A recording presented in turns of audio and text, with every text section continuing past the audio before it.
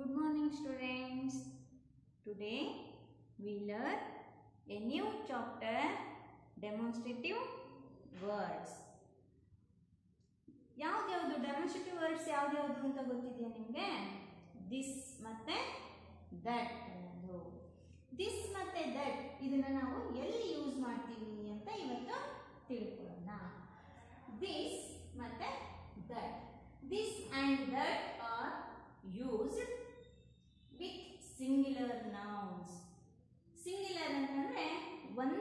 ಒಂದು ವಸ್ತು ಇದ್ದಾಗ ನಾವು ದಿಸ್ ಮತ್ತೆ ದಟ್ ಅನ್ನ ಉಪಯೋಗಿಸ್ತೀವಿ. ಯಾವಾಗ? ಒಂದೇ ವಸ್ತು ಇದ್ದಾಗ. ಆಮೇಲೆ this indicates something is near to the speaker ಈಗ ನಾನು ಹೇಳ್ತಾ ಇದ್ದೀನಲ್ವಾ ನನಗೆ ಹತ್ರ ಇರುವಂಥದ್ದನ್ನ ಹೇಳುವಾಗ ನಾವು ದಿಸ್ ಅನ್ನೋದನ್ನ ಬಳಸ್ತೀವಿ ಅದೇ ರೀತಿ ದಟ್ ಅಂತ ದಟ್ ಅನ್ನ ನಾವು ಯಾವಾಗ ಉಪಯೋಗಿಸ್ತೀವಿ that indicates to more distant object ದೂರ ಇದೆ ಅದು ದೂರ ಇದೆ ಅನ್ನೋದನ್ನ ಹೇಳುವಾಗ ನಾವು ಏನ್ ಮಾಡ್ತೀವಿ ದಟ್ ಅನ್ನ ಉಪಯೋಗಿಸ್ತೀವಿ ಈಗ ನಾವು ದಿಸ್ ಮತ್ತೆ ದಟ್ ಅನ್ನ ಹೇಗಪ್ಪ ಅಂತ ಇಬ್ರು ಟೀಚರ್ಸ್ ನಿಂತ್ಕೊಂಡು ತೋರಿಸ್ತೀವಿ ಆಯ್ತಾ ಈಗ ನಾನಿಲ್ಲಿ ಈಗ ಇಲ್ಲಿ ನಿಮ್ಗೆ ಇದು ಪ್ಲೇಟ್ ತೋರಿಸ್ತೀನಿ ಏನಿದು play P L A T E plate ಅಲ್ವಾ ಇದು? ಈ ಪ್ಲೇಟ್ ಎಲ್ಲಿದೆ? ನನಗೆ ಹತ್ರದಲ್ಲಿದೆ. ಅದಕ್ಕೆ ದಿಸ್ ಈಸ್ ಎ ಪ್ಲೇಟ್ ಏನಿದು? ದಿಸ್ ಈಸ್ ಎ ಪ್ಲೇಟ್ ಈಗ ದೂರದಲ್ಲಿದೆಯಪ್ಪ. ದೂರದಲ್ಲಿರೋದನ್ನ ಹೇಳಬೇಕು. ಈಗ ಅಲ್ಲಿ ಮ್ಯಾಮ್ ಏನು ಇಟ್ಕೊಂಡಿದ್ದಾರೆ? ಏನು ಇಟ್ಕೊಂಡಿದ್ದಾರೆ? ಬಾಕ್ಸ್ ಅಲ್ವಾ?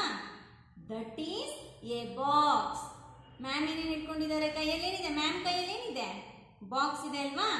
ದಟ್ ಈಸ್ ಎ ಬಾಕ್ಸ್ ಏನದು? ಬಾಕ್ಸ್ ನೆಕ್ಸ್ಟ್ ಇದೇನಿದು?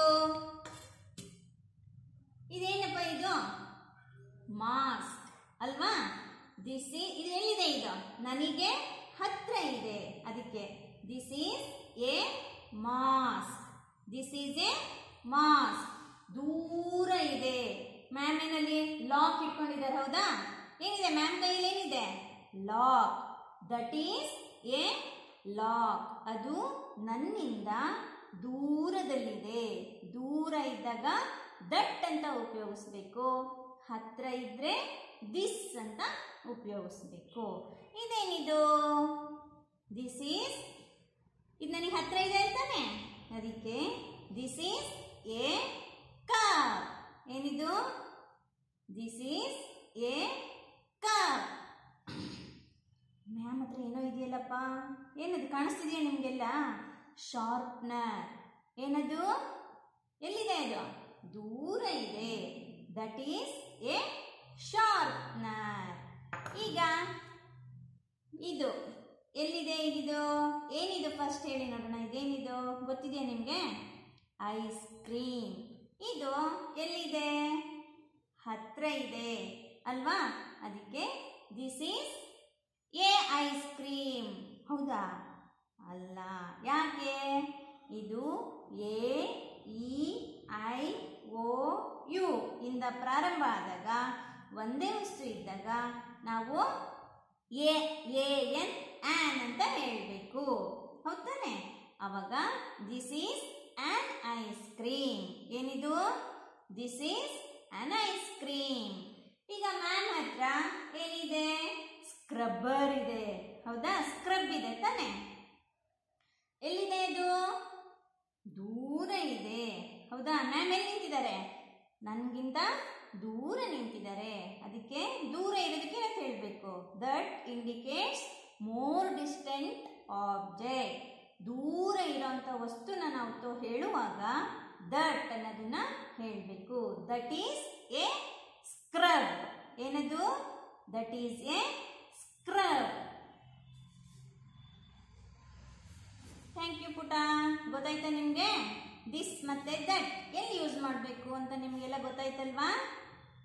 ನೀವು ಸಹ ಅಮ್ಮ, ನಿಮ್ಮ ಹತ್ರ ಸ್ವಲ್ಪ ವಸ್ತು ಇಟ್ಕೊಳ್ಳಿ. ದೂರ ಸ್ವಲ್ಪ ವಸ್ತುಗಳನ್ನ ಇಟ್ಕೊಂಡು ಹತ್ರ ಇರೋದಕ್ಕೆ ದಿಸ್ ಅಂತ ಉಪಯೋಗಿಸಿ ಹೇಳಬೇಕು. ದಟ್ ಅಂತ ದೂರ ಇರೋದಕ್ಕೆ ಉಪಯೋಗಿಸ್ಕೊಂಡು ಹೇಳೋದನ್ನ ಅಭ್ಯಾಸ ಮಾಡಿ. ಹತ್ರ ಇದ್ದಾಗ ಏನು ಹೇಳಬೇಕು? ದೂರ ಇದ್ದಾಗ ಏನು ಹೇಳಬೇಕು ಅನ್ನೋದನ್ನ ಸರಿಯಾಗಿ ತಿಳ್ಕೊಬೇಕು. ಅದನ್ನ ಯೂಸ್ ಮಾಡೋದನ್ನ ಅಭ್ಯಾಸ ಮಾಡಬೇಕು. ಓಕೆನಾ ಥ್ಯಾಂಕ್ ಯು ಪುಟ.